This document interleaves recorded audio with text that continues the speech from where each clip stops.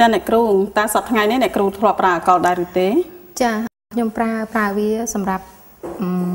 លាងរបួស ចាសម្រាប់រៀនរបួសក្រៅពីរៀនរបួសក្នុងជាក្នុងទីពិសោធន៍តើអ្នកគ្រូធ្លាប់ធ្វើអ្វីទៀត ខ្ញុំប្រើអកលក្នុងទីវិសោធន៍គឺប្រើវាសម្រាប់ជាសារធាតុឆេះ ជាសារធាតុឆេះចាអញ្ចឹងអ្នកគ្រូដឹងថាអកលគឺជាធាតុឆេះចុះបើសិនណាជាខ្ញុំនៅចង់យកกระดาษមួយសន្លឹកចលក់ទៅក្នុងអកលហើយដុតតើអ្នកគ្រូគិតថាឆេះដែរឬទេ ខ្ញុំគិតថាបើសិនជាអ្នកគ្រូយកกระดาษហ្នឹងជ្រលក់ក្នុងអកលกระดาษហ្នឹងដុតទៅនឹងឆេះ ចាដុតទៅនឹងឆេះ ចា ឥឡូវនេះបើសិនណាជាខ្ញុំចង់បន្ថែមទឹកទៅលើអកលវិញចាបន្ថែមទឹកទៅក្នុងអកលហើយខ្ញុំនឹងយកกระดาษមកចលក់រួចហើយឲ្យអ្នកគ្រូដុតតើអ្នកគ្រូគិតយ៉ាងម៉េចដែរ ខ្ញុំគិតថាវាអត់ឆេះទេព្រោះអីដោយសារវាមានទឹក អញ្ចឹងអ្នកគ្រូគិតថាអត់ឆេះទេហ៎ចាចាព្រោះថាមានទឹកអញ្ចឹងដើម្បីឃើញច្បាស់គឺយើងនឹងធ្វើពិសោធន៍បង្ហាញតែម្ដងចាអញ្ចឹងយើងមើលថាយើងមានសម្ភារៈអ្វីខ្លះគឺយើងមានក្រដាសទុកត្រៀមសម្រាប់ដុតមានដង្កៀបសម្រាប់ចាប់ក្រដាសនៅពេលយើងដុតចាមានឈើគូហើយយើងមានកែវទឹកដែលយើងវាល់មៀតវាហើយហើយគឺមាន100មីលីលីត្រចានិងអាកុល100មីលីលីត្រហើយនេះគឺជាទឹកលាយជាមួយនឹងអាកុលចាលាយបញ្ចូលគ្នាមួយមុខ 50មីលីលីត្រគឺស្មើនឹង100មីលីលីត្រដែលសារ៉ាងនេះគឺយើងប្រើសារ៉ាងនេះសម្រាប់វាល់រួចហើយហើយយើងមានទៀនសម្រាប់ដុត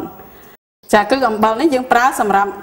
ដាក់ក្នុងកែវទី3គឺលបាយលាយអាកុលជាមួយនឹងទឹក ចា ចាដូច្នេះយើងចាប់ផ្ដើមធ្វើពិសោធន៍ដោយយកกระดาษហ្នឹងដុតដោយផ្ទាល់សិនចា ចា ចាអញ្ចឹងអ្នកគ្រូចាប់ផ្ដើមធ្វើ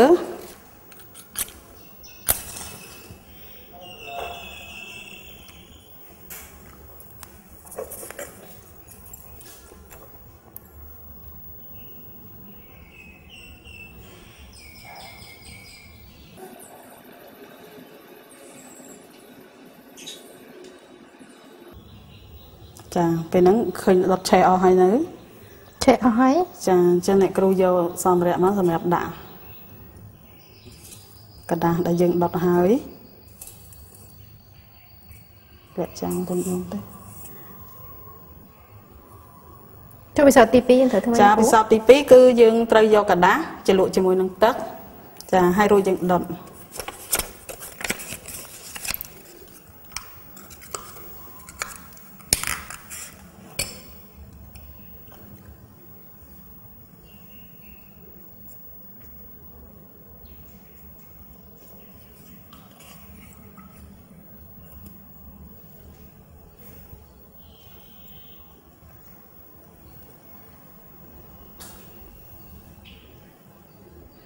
ចាតែពេលហ្នឹងអ្នកគ្រូសង្កេតឃើញយ៉ាងម៉េចដែរខុសពីกระดาษមុនទេ ចាខ្ញុំដុតទៅប៉ុន្តែกระดาษរបស់យើងគឺអត់ឆេះទេ ចាគឺវាអត់ឆេះទេ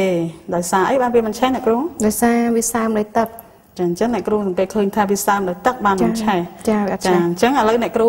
ដាក់ចុះរួចហើយយកกระดาษហ្នឹងចលក់នឹងកែវទី2គឺកែវអាកុល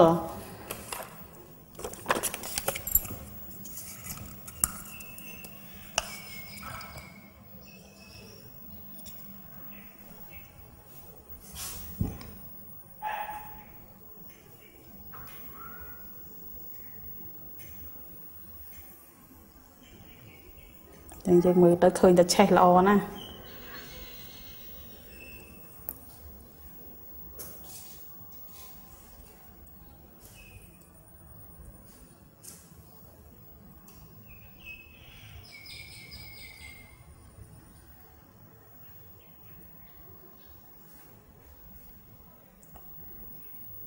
ក្តៅឆេះអស់ហើយឃើញតែឆេះអស់ហើយណាចា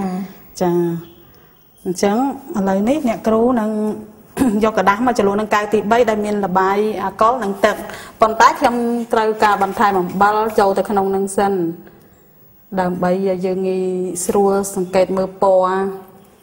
មើលអណ្ដាតភ្លើងពណ៌អណ្ដាតភ្លើងតើវាចេញយ៉ាងដូចម្ដេចចាតើវាឆេះដែរឬទេបើសិនជាវាឆេះគឺយើងងាយសង្កេតមើល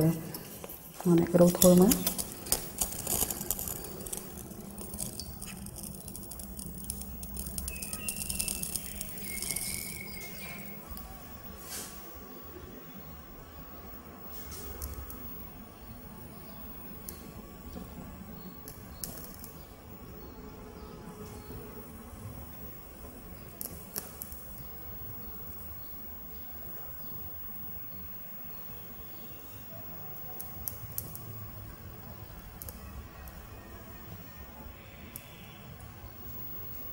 អូពេលយើងដាក់បាយអំបិលជាមួយនឹងទឹកហ្នឹងយើងដុតទៅกระดาษរបស់យើងឆេះប៉ុន្តែបន្ទាប់ពីឆេះអឺចប់ទៅគឺกระดาษរបស់យើងនៅដដែល ចាតែអ្នកគ្រូមានឆ្ងល់ទៅថាហេតុអ្វីបានជាវាអញ្ចឹង ខ្ញុំឆ្ងល់ដែរអ្នកគ្រូអាច